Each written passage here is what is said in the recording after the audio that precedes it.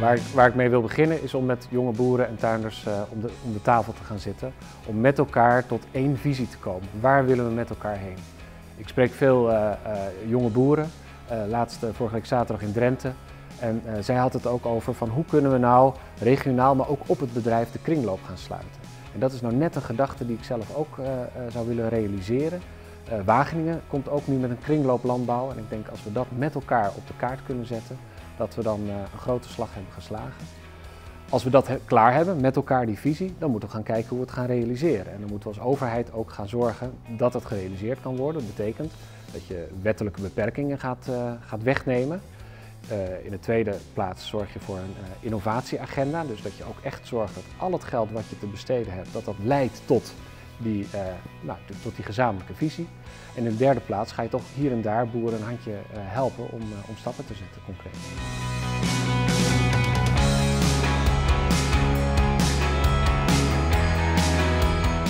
Nou, dan hebben we die visie gerealiseerd, omdat we twintig jaar lang gewoon consequent beleid hebben gevoerd. Dan zijn we ook uh, sterk in Europa, dan zijn we ook voorloper. Want als we dit realiseren, dan zijn we ook echt als eerste op de wereld uh, die dit kunnen. Dan komen er ook producten uit voort waar de markt goed voor gaat betalen. En dan kunnen ja, de jonge boeren en hun gezinnen een goede boterham gaan verdienen.